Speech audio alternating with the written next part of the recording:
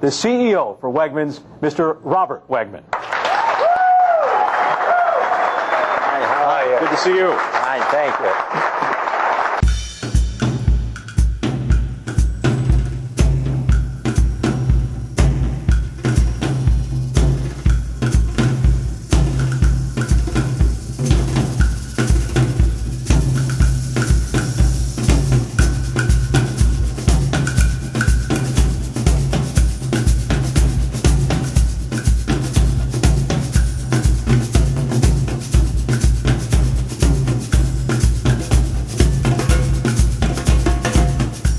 It was something I never expected to see, and you know if something's really wrong there, that that can happen.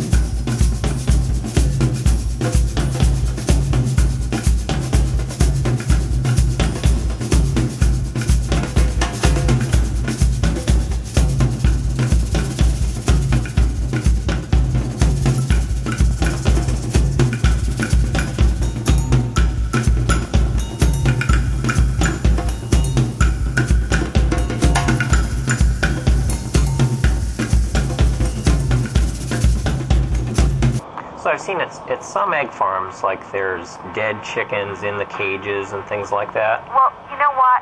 That just our own food safety standards alone would not permit that. Um, you know, if that's the case, uh, my guess is those egg farms are not very productive facilities.